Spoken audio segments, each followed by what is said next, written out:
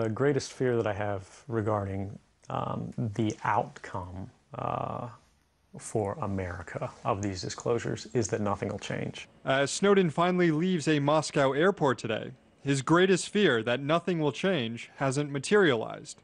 But instead, a flurry of legislation has dropped here on Capitol Hill to rein in the NSA and bring more transparency to the top secret FISA court. And last week's near passage of the Amash Conyers Amendment, which would have defunded the NSA's mass collection of data on American citizens, shows that momentum for reform is building. Today, Senators Wyden, Udall, and Blumenthal introduced reforms to the FISA court, including putting in place a special privacy advocate to defend the civil liberties of Americans before the top secret court. Here is a measure that protects core constitutional rights in a way that focuses on making the courts and the process better and fairer. Having two sides represented in court, what's more American? Also, Senator Patrick Leahy introduced the comprehensive FISA Accountability and Privacy Protection Act, which narrows the scope of the Patriot Act, limits gag orders on data collection, and fast forwards the sunset of the FISA Amendments Act. Congress has to carefully consider the powerful surveillance tools that we grant to the government.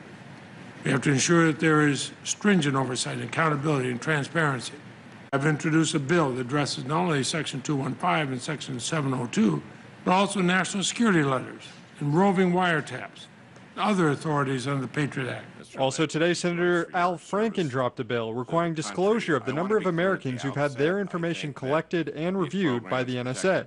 I don't want a situation where the government is transparent only when it's convenient for the government. Meanwhile, in the House, Congressman Rush Holt introduced legislation to repeal the Patriot Act and the FISA Amendments Act. Passing the Patriot Act is one of my great uh, regrets uh, in my time in Congress. Holt says he was deceived by the NSA in 2005 about the extent of its domestic surveillance programs. I wrote the head of the NSA a blistering letter uh, uh, accusing him of, of not just deceiving me, an individual, but withholding from Congress uh, the, the, necessary information for Congress to be able to do its oversight. Even members of the intelligence committees are getting into the game. Congressman Adam Schiff has introduced a number of reforms to the FISA court, including more oversight in appointing judges and declassification of FISA court legal opinions. There's a substantial degree to which we can declassify things that won't impair national security, that will allow a more full debate, that will allow better momentum behind reform, uh, and that's what I'm trying to do with these FISA court bills. Even Senator Dianne Feinstein, one of the biggest supporters of the NSA, has come around to the opinion that reform is inevitable. In an op ed for the Washington Post this week, Feinstein wrote Despite these real threats that our intelligence programs seek to thwart, I intend to work with members of the Senate Intelligence and Judiciary Committees to consider changes to the NSA call records program in an effort to increase transparency and improve privacy protections.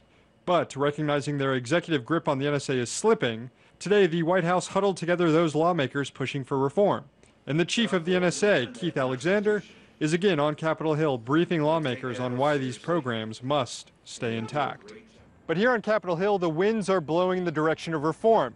And it's not a matter of if, but when, and what reform will look like, and how it will affect the NSA and the top secret FISA court. Which means somewhere in Russia, Edward Snowden should be smiling. In Washington, Sam Sacks, RT.